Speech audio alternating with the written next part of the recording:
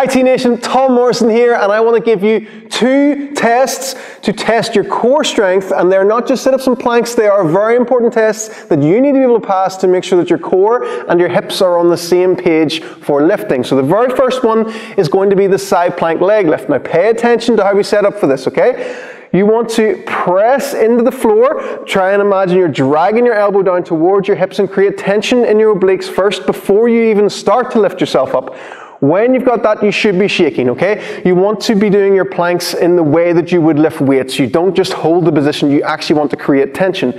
Then from there, what we want to see is can you maintain the tension and then can you lift up the top leg without your hips dropping at all? If Jenny was to put that leg down, if she was to try and lift that leg and her hips were to drop, that would be an immediate feel, okay? And we're getting Jenny to exaggerate to really show you what's going on, but this could look even more subtle than that, even more subtle than that. And that basically means means that your hips and your core are not on the same page, and that is enough to pull you out of position whenever you're deadlifting, whenever you're squatting, that could make you squat to one side, any little thing like that. And it's very important to test both sides. So if Jenny swaps herself around, you want to make sure that you can do this on both sides. So remember the tension in the core. This should feel challenging before you even lift up the leg, and then we want to see that the hips do not drop. How to work on that if you find that you have that issue is to go from the knees. So make your body as straight and as long as possible. Still keep that tension. Even if it's too much for you to be on the knee, you could even still have the hip on the floor and really think about pulling down, engaging there, and then progressively build yourself up to being able to hold this position.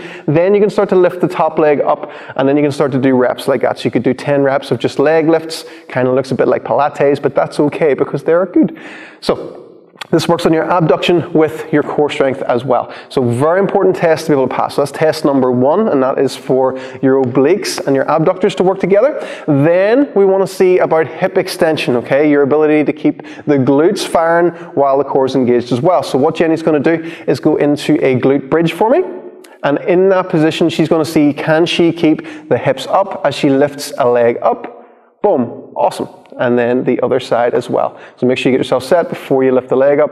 Boom. And then the same idea with this. If she was to lift the leg and the hips were to drop down ever so slightly or twist to one side, then that could show a weakness in the glute or again, just awareness, just muscles not firing when they need to, okay? So whenever you brace, whenever you set up for a lift, you want everything to be boom, straight on. You don't want to be having to, um, you don't want these imbalances happening, and that's what can happen over time. So if you're failing these two tests and you're having issues with your training, this is what you want to work on, okay? So what Jenny's doing now is just maintaining the glute bridge and doing small marches. If you find this is too hard for you, then you could just literally keep the feet on the floor and just start to take the weight off one leg or just lift the foot up ever so slightly and keep trying to keep the hips extended. So make sure you work on those two drills. Make sure that you use them in your warm-ups and make them incredibly easy for yourself and it will carry over to your training training and will keep you from getting injured and keep you lifting for years to come.